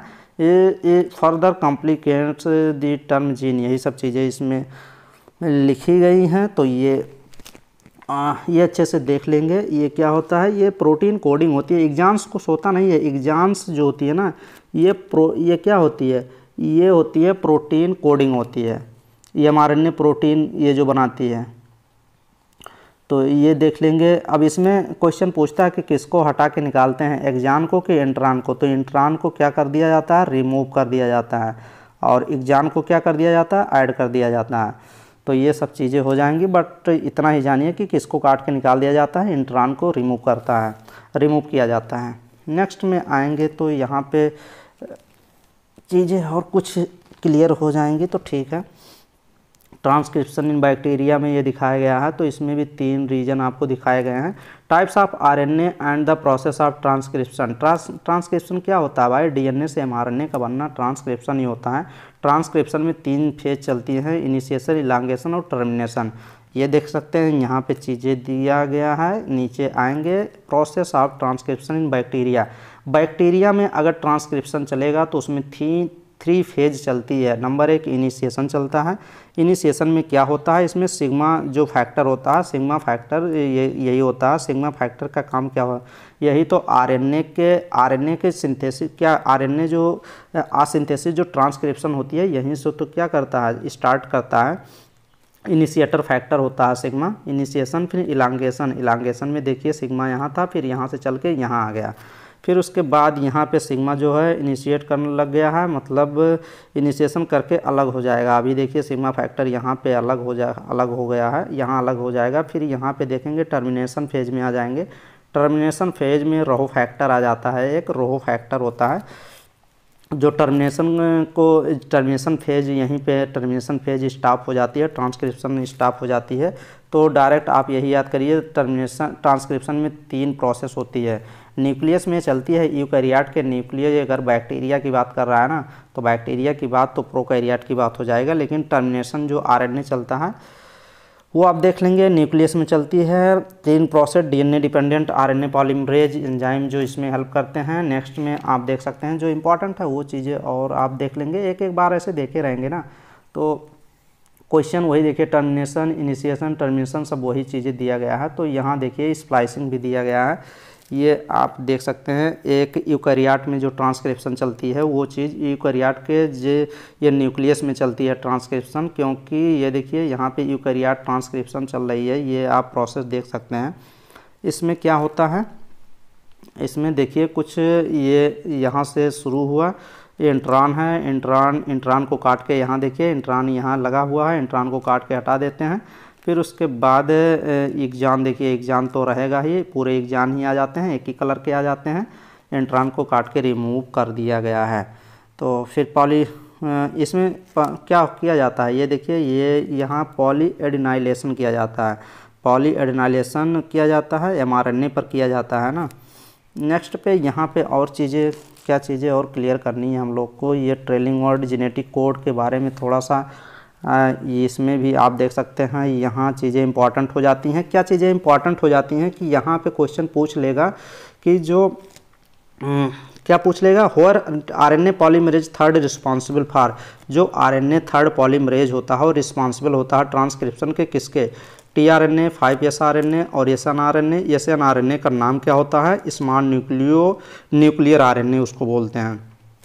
फिर उसके बाद थर्ड तो हम बात कर लिए। सेकंड ये देखिए ट्रांसक्रिप्शन किसको एमआरएनए से निकला होता है? Heteronucleus R N H R H N R N A का नाम होता है heteronucleus R N A heterogeneous nuclear R N A ये चीज़ हो जाएगा। फिर यहाँ पे कैपिंग और टेलिंग ये सब चीज़ें यहाँ पे दी गई हैं। स्प्लाइसिंग भी दिया गया है। यहाँ देख सकते हैं intron are non functional hence it is subjected to process का स्प्लाइसिंग स्प्लाइसिंग मतलब ऐड कर दिया जाता है। फॉर द एंट्रॉन को क्या कर दिया जाता है? रिमूव कर दिया जाता है और एग्जान को क्या कर दिया जाता है? जोड़ दिया जाता है। जोड़ता कौन है? एक गम्स मैंने बताया ही है डीएनए लाइगेज जो बताया था। ट्रेलिंग कैपिंग कर दिया जाता है। ट्रेलिंग एंड पे दो से तीन सौ, ये देखिए रेसिड्यू उसके एडिनाइलेटेड रेसिड्यू बचते हैं। फिर यहाँ पे चीज़ें। क्वेश्चन एक क्वेश्चन और पूछता है। कि कुछ साइंटिस्ट के नेम देता है जेनेटिक कोड में। यहाँ पे चीज़ें इंपॉर्टेंट हो जाती हैं कि जेनेटिक कोड में क्या क्या आरएनए आर्टिफिशियल के रिस्पेक्ट में क्या किए थे। जैसे खुराना साहब थे, खुराना साइंटिस्ट तीन खुराना थे। गोविंद खुराना, ये देखिए दिया गया है। Govind Khurana Govind Khurana was, Govind Khurana was instrumental synthesis R molecule defined combination basis हाँ होमोपालीमर्स यही तो इंपॉर्टेंट है होमोपालीमर्स एंड कोपॉलीमर्स तो खुराना साहब ने क्या किया था? खुराना साहब ने आरएनए आरएनए जीन के ऊपर काम किया था। ये देखिए, आरएनए मालिक्यूल के ऊपर वर्क किया था तो। फिर उसके बाद अगर गैमो, एक गैमो साइंटिस्ट भी थे, लिख सकते हैं आप जी ए एम ओ गैमो गैमो क्या थे? ये कोडान लिख लीजिए S C O D O N codon, nucleotide का जो तीन न्यूक्लियोटाइड के कोडान होने चाहिए, इनके, इन्होंने बताया था कि, इन्होंने बताया था कोडान जो हैं, वो कैसे होने चाहिए? ट्रिपलेट के फॉर्म में होने चाहिए triplet T R I P L E T यही चीज़ इन्होंने बताया था। थ्री न्यूक्लियोटाइड का ट्रिपलेट ट्रिपलेट के फॉर्म में होना चाहिए कोडान बस इतना ही जानिए गैमो कहीं पे आए, गैमो मतलब कोडान आपको पता होना चाहिए। खुराना मैंने बता दिया आरएनए आप समझ जाएँगे। फिर एक साइंटिस्ट थे नीरन बर्ग एक साइंटिस्ट थे N E R E N Niren M B E R G Nirenberg कहीं पे आपको दिखें तो protein P R O T E I N protein आपको पता होना चाहिए। तो ये चीज़ हो जाएगा। भाई साहब, काफ़ी मेहनत की जा रही है वीडियो को। कौन सा स्टूडेंट है जो अभी तक लाइक नहीं किया? भाई, प्लीज़ लाइक कर दे। चलिए, लाइक करके आप लोग आगे बढ़िए। यहाँ पे देखिए, लाइक करना और शेयर करना कंपलसरी है। अगर फ्री में सब कुछ चीज़ें मैं प्रोवाइड कर रहा हूँ। कोई चार्ज तो नहीं लिया हूँ ना तो बस। चलिए, नेक्स्ट ईयर से जो भी होगा, अपने भाई बंधु जो आएँगे, नेक्स्ट ईयर से भयानक इस बार सिलेक्शन हो जाए नर्सिंग ऑफिसर में, फिर आपकी टीम बनेगी, मेरी टीम बनेगी, सभी लोग मेहनत करके हर एक एग्ज़ाम को सिंपल बनाएँगे और आसानी से सिलेक्शन दिलाएँगे सभी स्टूडेंट का। तो चलिए कुछ कोडांस के बारे में भी जान लेते हैं कि कोडांस को क्या चीज़ें कंफर्टेबल इनको बनाती है। कोडांस क्या कोडान के कुछ करेक्टर होते हैं। तो देखिए कोडांस क्या होता है? कोडांस यहाँ से क्वेश्चन पूछे जाते हैं कि कोडांस क्या होते हैं? कोडांस ट्रिपलेट के रूप में होते हैं। क्वेश्चन में भी पूछा जाता है कि 61 कोडांस होते हैं जो कोड करते हैं अमीनो एसिड, लेकिन तीन कोडांस ऐसे कोडान होते हैं। Not code for amino acid मतलब 61 में से तीन कोडान ऐसे होते हैं। 61 codons code for amino acid sixty one codon तो ऐसे होते हैं कि जो अमीनो एसिड को कोड करते हैं, लेकिन तीन कोडान ऐसे भी होते हैं जो अमीनो एसिड को कोड नहीं करते हैं। वो क्या करते हैं? अभी आगे चलिए। Hence they are function stop codon उनका काम क्या होता है? वो कोडांस को स्टॉप करते हैं या फिर कोडांस को शुरू करते हैं। आगे देखिए one codons code for only one हाँ कोडांस के बारे में हम लोग पढ़ रहे हैं। तो sixty one codons amino acid को कोड करते हैं। तीन कोडांस ऐसे होते हैं जो कोड्स नहीं करते हैं। ये एक चीज़ हो गया। दूसरा पॉइंट देखिए कोडांस जो होते हैं कोडांस जो होते हैं, वो क्या होते हैं? कोडांस ये देखिए one codons code for only one amino acid अगर एक कोडान कोड कर रहा है केवल एक अमीनो एसिड को तो ऐसे कोडांस को बोलते हैं अनएम्बिग्यूस या स्पेसिफिक। क्वेश्चन पूछा जाता है, ये लैंग्वेज बहुत ज़बरदस्त है। अगर एक कोडान है और वो कोड कर रहा है केवल एक अमीनो एसिड को तो उसको अनएम्बिग्यूस बोलते हैं। अनएम्बिग्यूस मीन्स होता है यार मतलब होता है अनएम्बिग्यूस मतलब होता है अस्पष्ट अस्पष्ट होता है। अस्पष्ट बोल दीजिए, क्लियर बोल दीजिए। मतलब नो डाउट कोई डाउट नहीं है। मतलब कि एक ही को, ये सिर्फ़ कोड करेगा, कोई डाउट नहीं है। स्पेसिफिक मतलब हर जगह मतलब स्पेसिफिक होता ही है। और कुछ amino acid are coded by लेकिन कुछ अमीनो एसिड होते हैं, वो कोड होते हैं। किसके द्वारा? मोर देन वन कोडान एक कोडान के अधिक से कोड होने वाले अमीनो एसिड को हेंस कोड, ऐसे कोड को डी जनरेट कोडान बोलते हैं। अगर एक कोडान है, वो एक से ज़्यादा अमीनो एसिड को कोड कर रहा है तो उसको डी जनरेट बोलते हैं। डी जनरेट बोलते नहीं, हीन पुरुष हो गए जैसे। हीन पुरुष होते नहीं हैं, नीचे जो मिनिमाइज द इफ़ेक्ट करते हैं। वही, हीन पुरुष ऐसे आप याद कर सकते हैं कि एक एक अधिक अमीनो एसिड को वो कोड करेंगे तो ऐसे कोडान को डी जनरेट बोलते हैं। तो ये दो तीन लैंग्वेज आप देख लीजिएगा, यहाँ से क्वेश्चन पूछे गए हैं। तो मैं बता ही दिया। फिर उसके बाद कोडांस जो होते हैं वो रीड करते हैं। हमारे कॉन्टीन्यूस फ़ैशन में कॉन्टीन्यूस फ़ैशन में कोड करना चाहिए उनको। और कोई कामान नो पंचुएशन कोई कामान नहीं छोड़ना चाहिए। कोई बेस छूटना नहीं चाहिए। मतलब कोई कामा नहीं होना चाहिए। हर एक हर एक बेस को रीड करना चाहिए। ये कोडांस के फ़ंक्शन है। फिर देखिए फाइव फिफ्थ पॉइंट क्या दिया गया है? कोडांस क्या होते हैं? नियरली लगभग यूनिवर्सल होते हैं। जैसे एग्ज़ाम्पल दिया गया है फ्राम बैक्टीरिया में ह्यूमन में U U U code for phenylalanine तो क्वेश्चन डायरेक्ट पूछा जा सकता है कि यू यू ट्रिपल कोडा, ये एक ही कोडान है, लेकिन ट्रिपलेट के फॉर्म में होते हैं, तीन फॉर्म में होते हैं। तो देखिए, तीन की संख्या है नहीं यू यू यू अब क्वेश्चन पूछा जाता है कि यू यू यू जो कोड हो है, ये किसको कोड करता है? ये फेनिन एलिनिन को कोड करता है। और फेनिन एलिनिन को शो किया जाता है पी एच ई से। Some exception to the rule have been found in mitochondria codons and some protozoans कुछ जो एक्सेप्शन है, जो कोड करते हैं माइटोकॉन्ड्रिया के केस में एंड प्रोटोजोमस के केस में। तो वो कोडान जो माइटोकांड्रिया में कुछ अमीनो एसिड जो होते हैं, वो प्रोटीन को कोड करने लगते हैं। तो वो सब चीज़ें हम लोग आगे देखेंगे। ये देखिए, ये भी क्वेश्चन, खूब क्वेश्चन बार पूछा जाता है कि ए यू क्या, ए यू जी क्या होता है? ए यू जी के दो फ़ंक्शन होते हैं। ए यू जी कितने फ़ंक्शन होते हैं? दो फ़ंक्शन होता है दो कार्य होता है। ये कोड तो मिथियोनिन को भी कोड करता है और ये इनिशिएटर का कोडान को इनिशिएट भी कराता है। तो दो फ़ंक्शन कौन है? एक कोडिंग का है, एक इनिशिएटर का है। तो दो कोडा ए यू जी ए यू जी याद कर लीजिएगा, दो फ़ंक्शन काम होते हैं इनके। तो ये सब चीज़ें हम लोग कवर की है। यहाँ पे थोड़ा सा चीज़ें आप देख लीजिएगा। सिकल सेल एनीमिया के बारे में दिया गया है। तो यहाँ पे आप देख लीजिएगा, ये आप हटाइए यहाँ से, नीचे स्क्रॉल करते चलिए। Frame shift mutation deletion insertion ये सब चीज़ें तो नहीं देखिए, तभी सही है। ट्रांसलेशन। ट्रांसलेशन तो मैंने बता दिया। Translation are refer to process polymerisation of amino acid to polypeptide ये सब ट्रांसलेशन पॉलीपेप्टाइड पॉलीपेप्टाइड क्या होती है? प्रोटीन होती है, sequence of amino acid defined sequence base of M R N M R N A से जब प्रोटीन बन जाती है तो वही ट्रांसलेशन। बस इतना ही जानिए, ट्रांसलेशन होता क्या है। और तो ये बहुत ज़्यादा ये सब चीज़ें बनाई गई हैं। यहाँ पे देख सकते हैं, यहाँ पे टी आर एन ए है लेवल पे टी आर एन ए है, जो कि चेंज हो जाता है टी आर एन ए आके। फिर यहाँ ग्रोइंग पॉलीपेप्टाइड चैन भी दिया गया है, यहाँ कुछ अमीनो एसिड दिए गए हैं। ये आप देख सकते हैं, यहाँ राइबोसोम राइबोसोम पे ही प्रोटीन बनती है, यहाँ एम दिया गया है। फाइव, यहीं से फाइव डायरेक्शन, यहीं से स्टार्ट होता है फाइव से, और यहाँ थ्री एंड पे आके स्टॉप हो जाता है।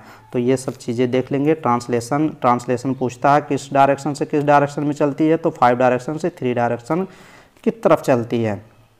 तो यहाँ पे सेलुलर फैक्ट्री कुछ दिया गया होगा। यहाँ चीज़ें देख सकते हैं। Cellular factory responsible for synthesis of protein protein के बनने को ही ट्रांसलेशन कहा जाता है। ट्रांसलेशन की मैकेनिज्म दिखाई गई है राइबोसोम में। राइबोसोम्स पर ribosome consist of structure R N and eighty different protein ये सब चीज़ें हो जाएँगी। नेक्स्ट में यहाँ पे देखिए यू टी टी का फुल फार्म आपको तो पता होना चाहिए। ये देखिए अन, अनट्रांसलेटेड रीजन उसको बोलते हैं, जहाँ पे ट्रांसलेशन रीजन नहीं होती है, कोई ट्रांसलेशन उस पोजीशन पे नहीं होती है। तो वो सब चीज़ें देख लेंगे, अनट्रांसलेटेड रीजन हो जाएगा, फिर रेगुलेटरी जीन एक्सप्रेशन के बारे में देख लेंगे। यहाँ रेगुलेटरी जीन एक्सप्रेशन से कोई क्वेश्चन इतना है नहीं कि बनेगा, और जो बनेगा, वो चीज़ें देख लेंगे। फिर उसके बाद यहाँ लैक ओपेरान। हाँ एक है ह्यूमन जीनोम प्रोजेक्ट, फिंगर ऐसे तो कुछ चीज़ें हैं। देखिए, लैक ओपेरान के बारे में देख लीजिए, जहाँ पे कुछ जीन और कुछ लैक्टोज का कॉम्प्लिकेशन होता है, कुछ चीज़ें बनती हैं। वहाँ पे लैक ओपेरान का एक पूरा मॉडल ही है। यहाँ पे लैक ओपेरान के मॉडल में आपको क्या चीज़ें आपको जाननी है? भाई, ये चीज़ें तो मैं बहुत अच्छे शानदार पढ़ाया हूँ। वो आप जाके देखेंगे तो आइडिया लग जाएगा। तो करनी तो पड़ेगी। किसी की शुरुआत किसी को तो करना पड़ेगा। जिसको सिलेक्शन लेना होगा वो छोटी छोटी माइनर माइनर चीज़ें पढ़ के जाएगा सिलेक्शन ले लेगा। फिर उसके बाद यहाँ पे देखिए, यहाँ पे ये चीज़ें यहाँ दिया गया है। ये रेगुलेटरी जीन आई यहीं से शुरू होता है प्रमोटर जीन होता है, ये ये ऑपरेटर जीन होती है जो ओ दिया गया है और ये तीन स्ट्रक्चरल जीन दिया गया है। जेड वाई ए जो दिया गया है स्ट्रक्चरल जीन जीन दिया गया है। फिर यहाँ पे देखिए ऐसे चल रहा है, यहाँ पे ऑप्शन ऑफ़ इंड्यूसर ऑप्शन हैं। इंड्यूसर का ऑप्शन है। इंड्यूसर क्या होता है? लैक्टोज ही होता है इंड्यूसर इसमें। लैक्टोज होता है लैक्टोज ही शुरू करता है सब कहानियाँ इसमें। लैक्टोज फिर यहाँ रिप्रेशन प्रोटीन प्रोटीन ये देखिए कहाँ पे है? रिप्रेसर हाँ ये है। इंड्यूसर, ये इंड्यूसर जाके यहाँ से मिला है। इंड्यूसर मिला, फिर इंड्यूसर जब मिलता है तो यहाँ पे ये सिस्टम ऑन हो जाता है, शुरू हो जाता है, फिर इनएक्टिव रिप्रेसर एक्टिव फॉर्म में जाती है। पॉजिटिव फीडबैक इसको मिल जाता है। जब ये इंड्यूसर जाके इससे ऐड होता है। तो इसको पॉजिटिव फीडबैक हो जाती है। फिर यहाँ पे देखिए lac lac M R N L A C lac L S C से लैक से मतलब लैक्टोज ही होता है। फिर यहाँ से देखिए बीटा ग्लेक्टोसाइडेज ऐड हो जाता है। क्वेश्चन डायरेक्ट पूछता है बीटा ग्लेक्टोसाइडेज किससे ऐड होता है? तो जेड से जेड जीन से बीटा ग्लेक्टोसाइड ऐड होता है। बीटा ग्लेक्टोसाइडेज डेज़ मतलब एंजाइम ही होता है बीटा ग्लेक्टोसाइडेज ये क्या करता है? लैक्टोज को तोड़ता है किसमें? ग्लेक्टोज ग्लेक्टोज और ग्लूकोज में तोड़ देता है। फिर देखिए परमेज किसको कोड करता है? ये वाई जीन को। वाई जीन को परमेज करता है। अब परमेज क्या करता है? ये लैक्टोज को ट्रांसपोर्ट कर देता है। ट्रांसपोर्ट करता है। एक्शन इसका क्या होता है? परमेज का। लैक्टोज को ट्रांसपोर्ट करता है। अब ट्रांस एसिटाइलेज किसको एक्ट किसको कोड करता है? ए जीन को करता है। ट्रांस ट्रांस एसिटाइलेज ये भी एक एंजाइम ही होता है। तो ऐसे करके इसमें क्या होता है? इसमें लैक ओपेरान में ये सिस्टम चलती रहती है। इसमें एक, इसमें बस इतना ही आपको याद करना है कि इसमें कितने रेगुलेटरी जीन होते हैं। एक रेगुलेटरी जीन होता है, लैक ओपेरान में आप ऐसे लिख सकते हैं कि one regulatory gene R E G U L A L A T O R Y regulatory gene होती है। कितनी रेगुलेटरी जीन होती है? एक और थ्री स्ट्रक्चरल जीन होती है। Three S T R U T U R A L structural gene कितनी होती है? तीन होती है और एक रेगुलेटरी जीन होती है। तो ये सब चीज़ें आप अच्छे से कवर का कवर कर लेंगे। फिर लैक्टोज एक्टोज बन जाएगा, जो भी रहेगा। ह्यूमन जीनोम प्रोजेक्ट के बारे में थोड़ा सा कुछ चीज़ें देख लेते हैं। अगर देखना होगा तो आप ह्यूमन जीनोम प्रोजेक्ट के बारे में देख लेंगे। जब क्वेश्चन करेंगे तो वहाँ चीज़ें और क्लियर हो जाएँगी। ह्यूमन जीनोम प्रोजेक्ट क्वेश्चन यही पूछता है, एक क्वेश्चन बार बार बोलता है कि ह्यूमन जीनोम प्रोजेक्ट कब लॉन्च किया गया था? तो 2000 1990 में लॉन्च हुआ था 2000 नहीं। ह्यूमन जीनोम प्रोजेक्ट कब लॉन्च हुआ था? 1990 में लॉन्च हुआ था। कब लॉन्च हुआ था? 1990 में। और उसके 13 साल 13 साल उसको लग गए थे। किसमें? 15 साल 13 साल लग गए थे। 2003 में जाके कंप्लीट हुआ था। तो क्वेश्चन पूछता है ह्यूमन जीनोम प्रोजेक्ट कब कंप्लीट हो गया था? तो 2003 में ये कंप्लीट हो गया था। तो ये सब चीज़ें आप देख लेंगे। यहाँ पे चीज़ें, कुछ चीज़ें ह्यूमन जीनोम प्रोजेक्ट के क्या क्या गोल थे, क्या ये ये मेगा प्रोजेक्ट होता है, छोटा कि बड़ा? तो ये मेगा प्रोजेक्ट होता है, ये आप देख लेंगे। फिर उसमें, इसमें कितने बेस पेयर इन्वॉल्व होते हैं तो ये देख लेंगे। थ्री इंटू टेन के power nine base pair human genome project इसमें इन्वॉल्व होते हैं। काफ़ी पैसा भी खर्च हुआ था। यू एस थ्री पर बेस पेयर काफ़ी बड़ा प्रोजेक्ट था तो पैसा तो खर्च ही हुआ होगा। ह्यूमन जीनोम प्रोजेक्ट इसमें rapid development, new bio informatics ये देखिए दिया गया है। Human genome project was closely associated जुड़ा होता है with the rapid development of new area in biology called bio informatics human genome project के कुछ गोल थे, कुछ लक्ष्य थे। ये आप लक्ष्य पढ़ लीजिए। यहीं से अगर क्वेश्चन पूछना होगा तो ह्यूमन जीनोम प्रोजेक्ट से कब ये खोजा गया था, कब कंप्लीट हुआ था, कब लॉन्च हुआ था, ये तो मैंने बता ही दिया। और हाँ ह्यूमन जीनोम प्रोजेक्ट के कुछ लक्ष्य कुछ गोल थे, ये आप गोल आप पढ़ लेंगे। बीस हज़ार से पच्चीस हज़ार ये जीन ह्यूमन डीएनए इसमें इन्वॉल्व थे। यहाँ पच्चीस की जगह तीस भी आप कर सकते हैं। बीस से तीस हज़ार जीन ह्यूमन डीएनए। फिर उसके बाद इसमें determine the sequence three billion ये देखिए three billions chemical base pair ये आप देख लेंगे। स्टोर डाटा बेस स्टोर इसमें किया जाता है। इंफॉर्मेशन डाटा बेस स्टोर होते हैं। Improve tools for data analysis ये देख लेंगे। तो ऐसे ऐसे चीज़ें आप देख लेंगे। थर्टीन ईयर्स ये लगे थे, यहाँ पे दिया गया है। 2003 में कंप्लीट 2005 में कंप्लीट हुआ था। 2003 में कंप्लीट हो गया था। ये भी चीज़ें, ये देखिए 2003 में कंप्लीटेड दिस प्रोजेक्ट 2003 में कंप्लीट हो गया था। तो ये सब चीज़ें हम लोग कंप्लीट कर लिए हैं। जो चीज़ें बती, बची होंगी, वो सब चीज़ें बाद में देख लेंगे। हाँ एक ये भी देख लीजिए ई एस टी एस का पूरा नाम देख लीजिए एक्सप्रेस सीक्वेंस टैग इतना ही देख लीजिए। नेक्स्ट वीडियो में हम लोग ज़्यादा चीज़ें और कवर करेंगे। ये देख लीजिए बी ए सी क्या होता है वाई ए सी क्या होता है, ये भी इंपॉर्टेंट है। देख लीजिएगा बी ए सी क्या है? बैक्टीरियल आर्टिफिशियल क्रोमोसोम है और वाई ए सी क्या है? ईस्ट आर्टिफिशियल क्रोमोसोम्स है। भाई, काफ़ी मेहनत की जा रही है। प्लीज़ चलिए, वीडियो को लाइक करें शेयर करें, जो भी करना है करते रहें, लेकिन पढ़ाई करते रहें। पढ़ाई नहीं बंद होनी चाहिए। आपका मेन गोल होना चाहिए कि सिलेक्शन सिलेक्शन सिलेक्शन सिलेक्शन के बाद by C T NEET channel को भूलना नहीं है। बहुत मेहनत की जा रही है। ऐसे नहीं वीडियो बनती है। इस वीडियो को बनाने में चार घंटे लगे हैं। ऐसे अभी एडिट करना, सब करना चार घंटे लग जाएँगे। चार घंटे इस समय मुझे निकालना, अपने लक्ष्य को पीछे खींचना। लेकिन आपकी दुआएँ लगी तो पीछे नहीं सिलेक्शन हो जाएगा नर्सिंग ऑफिसर में। मेरा भी 2024 में अभी देखिए आम नर्सिंग ऑफिसर के लिए अभी मैं कौन सा एग्ज़ाम मुझे देना है भाई? कल्याण सिंह इंस्टीट्यूट लखनऊ।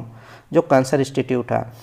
फिर उसके बाद देना है एक R M L, Ram Manohar Lohia जो लोहिया हॉस्पिटल, आप सुने होंगे हॉस्पिटल में, उसकी भी नर्सिंग ऑफिसर की वैकेंसी आई है, उसका फॉर्म मैं भर दिया हूँ। थर्ड पे हो गया एस जी पी जी आई का फॉर्म आने ही वाला है, नोटिफिकेशन पूरी आ गई है S G S G P G I की।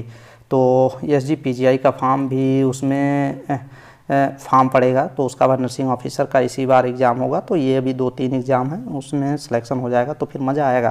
फिर लड्डू बटेगी आपके घर पे पहुँचेगा, और लड्डू खाएँगे, फिर डांस करेंगे, फिर उसके बाद मज़ा आएगा। चलिए, आगे देखते हैं, ह्यूमन जीनोम कंटेन इतना देखिए, thirty one, sixty one, four millions nucleotide base, ये आप देख लेंगे, ह्यूमन जीनोम्स में कितने मिलियंस न्यूक्लियोटाइड बेस होते हैं तो इकतीस चौंसठ पॉइंट सेवन, ये इतना याद होना चाहिए न्यूक्लियोटाइड बेस होते हैं। यहाँ पे मिलियन लिखा है। अगर बिलियन की बात कर देगा तो थ्री पॉइंट लगा देगा। Three point one six four seven into ten के पावर नाइन लगा देंगे तो फिर बिलियन में आ जाएगा। B I double L I O N billion में पूछेगा तो ये लिखेंगे three point one six four seven तो ये लिखेंगे। अगर मिलियन में पूछेगा तो ये लिखेंगे कि ह्यूमन जीनोम कंटेंट्स कितने मिलियन न्यूक्लियोटाइड बेस होते हैं? तो ये आप देख लीजिएगा। अगर एवरेज जीन कंसिस्ट इसमें ये सब देख लीजिएगा। चलिए, यहाँ एक आप ये फुल फार्म ये देख लीजिएगा। एस एन पी, एस का फुल फार्म क्या होता है, ये देख लीजिएगा। सिंगल न्यूक्लियोटाइड पॉलीमॉर्फिज्म होता है। सिंगल न्यूक्लियोटाइड पॉलीमॉर्फिज्म होता है। तो ये इसका फुल फार्म हो गया। फिर अप्लीकेशन ऑफ़ फ्यूचर चैलेंज कुछ फ्यूचर चैलेंज में ह्यूमन जीनोम प्रोजेक्ट को कुछ चैलेंज किया गया होगा। ये नए युग की शुरुआत जब हुई होगी, तब कुछ हुआ होगा कहानी इसमें तो कुछ फिर उसके बाद एक और टॉपिक बचता है DNA finger printing next video में करें क्या यार? काफ़ी थकावट से महसूस हो रही है शरीर में और चलिए थकावट क्या अभी तो कराई दे। डीएनए फिंगर प्रिंटिंग क्या है? DNA finger printing human genome यहाँ पे DNA finger printing DNA finger printing एक क्या है ये डीएनए? डीएनए फिंगर प्रिंटिंग होती क्या है? पहले तो यही चीज़ें पता होनी चाहिए ना कि डीएनए फिंगर प्रिंटिंग जो होती है, जैसे लगता है कि कोई फिंगर प्रिंटिंग है, जैसे डी फिंगर प्रिंटिंग क्या है? डी फिंगर प्रिंटिंग ये एक, पहले तो ये देख लीजिए, डीएनए ये क्या है? यहाँ पे दिया गया ये proceeding section 99 percent sequence among human दस से assuming human genome three into ten के पावर नाइन बेस पेयर ये आप देख लीजिएगा कि ह्यूमन जीनोम का कितने बेस पेयर होता है? थ्री इंटू टेन के पावर नाइन बेस पेयर होता है। फिर उसके बाद डीएनए फिंगर प्रिंटिंग ये एक आइडेंटिफाई मशीन है, मान के चलिए। ये यहाँ पे high in maybe sequence phenotype find out हाँ यहाँ से देख लीजिए, लिखा गया है। इफ़ वन एम्स इसका एक उद्देश्य होता है फाइंड आउट जेनेटिक डिफरेंस ये करता है। बिटवीन टू इंडिविजुअल दो इंडिविजुअल किसी पॉपुलेशन में हैं तो वो डी फिंगर प्रिंटिंग इंडिविजुअल्स पॉपुलेशन में क्या करता है? जेनेटिक डिफरेंस करता है। बस इतना जानिए जेनेटिक डिफरेंस बता देता है। डी एन फिंगर प्रिंटिंग ये चीज़ें बता देती हैं, फिर उसमें आप अलग जेफरी इसमें याद करेंगे। अलग जेफरी अगर दिया होगा तो ज़रूर दिया होगा, कहीं ना कहीं इसमें मैंने देखा था, अलग जेफरी की बात कहीं ना कहीं किया गया होगा। तो इसमें जो ये डीएनए फिंगरप्रिंटिंग टेक्निक है ना इसमें डीएनए फिंगरप्रिंटिंग एक एक लेटर पढ़ना पड़ेगा क्या इसमें खोजने के लिए? तो यहाँ पे देखिए, एक सेटेलाइट डीएनए होता है, यहाँ पे रिपीटेटिव डीएनए यहाँ पे डीएनए पॉलीमार्फिज्म सीक्वेंस पॉलीमार्फिज्म यहीं पे बगल में आप लिख लीजिए। ऐसे गोला मार के लिख लीजिए, वो तो मिलता रहेगा। जो मिलना डीएनए जो इसमें एक, ये जो डीएनए फिंगर प्रिंटिंग एक टेक्निक है, DNA finger printing was initially जो डेवलप किया गया था, वो एक साइंटिस्ट के नाम था, Alec A L E C Alec Jeffrey J E double F E J double F R E Y S Alec Jeffrey. ये आप देख लीजिएगा। अलेक जेफरी क्या है? ये इन्होंने डीएनए फिंगर प्रिंटिंग को डेवलप किया था। तो ये हो गया। इसमें एक, आप एक इसमें क्या चीज़ आपको देखना है? ये एक ये देख लीजिएगा, यहाँ पे यहाँ पे ये क्या चीज़? हाँ B B N T R B N T R का फुल फॉर्म देख लीजिएगा। Variable number of tandem repeats ये चीज़ हो जाएगा। तो चलिए, हम लोग पूरा कंप्लीट किए। P S C R O C R हम लोग देखेंगे बाद में। ब्लॉटिंग से वो जब देखेंगे, और चीज़ें क्लियर हो जाएँगी। तो हाँ चलिए नेक्स्ट वीडियो में करेंगे भाई।